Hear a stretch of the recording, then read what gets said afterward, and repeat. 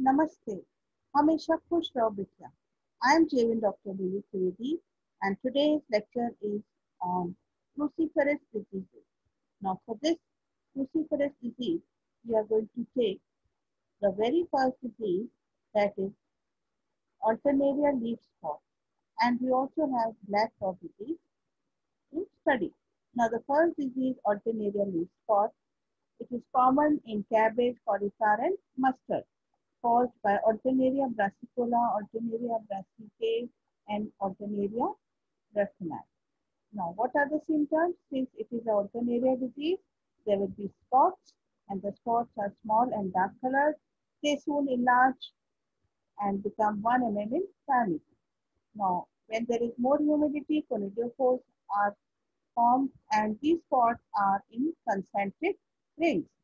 Now, these spots together merge and they cause the leaf to be blighted. And this is a seed-borne disease and it causes shriveling of the seed and poor germination. Such spots are also seen on the petiole, stem, pods, and seeds. Now, what is the disease cycle? Primary infection is as on, uh, through mycelium present in the seed or through spores present on the seed or debris. And the secondary infection is by wind or insect-borne. So here you're seeing the spots as I've already shown you. Yes. So these are the spots of alternaria. They are present in concentric rings. For management, we have the hot water treatment that is at 550 degrees centigrade for 30 minutes. Seed treatment with agrosan and foliar spray of vicmankozeb at the rate of 0.2% or carboxy, copper oxychloride at the rate of 0.3% So these are the for. Then we have the second disease that is black rot.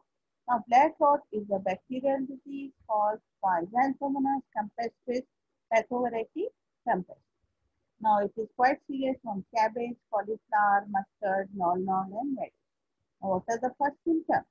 They first appear on near the leaf margin as or yellow angular area. Now this yellow area will extend to the veins and midrib and will form characteristic Y-shaped chlorotic spots. Now the veins and veinlets turn black, brown, and then finally black. So here in the this you can see this is the Y shaped area which is outer is yellow and it is brown to black. Then these veins are also further turn into black. Now what happens? This vascular blackening will now extend to further to midrib, petiole and stem. It also reaches the root system and therefore it will cause blackening of the vascular bundle. Now in bacterial disease, bacterial ooze is a very important symptom which is seen on the affected part.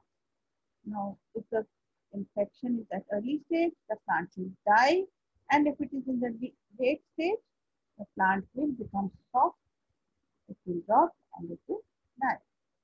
Now the disease cycle is it is internally seed and born and soil. So it survives with plant debris.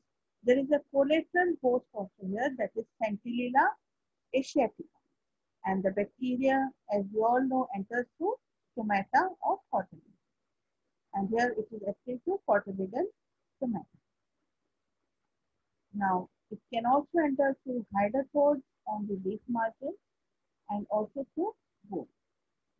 So the secondary infection is very easy. How? Because to irrigation water, wind splash rain, this bacteria is transmitted and also by mechanical means. For management, we are taking seed treatment with mercury chloride solution for 30 minutes or agromycin or aureomycin 0.1% solution. Though mercury chloride we are not using nowadays, so agromycin or aureomycin is more suitable. Hot water treatment at 50 degrees centigrade for 30 minutes. And for killing the seed board in offline, we also depicted tetracycline, that is 100 ppm for 30 minutes. We can also spray agromycin 100 or streptocycline 50 ppm at the transplanting stage for curd formation and pot. Crop rotation is with non-cruciferous crops also a good management practice.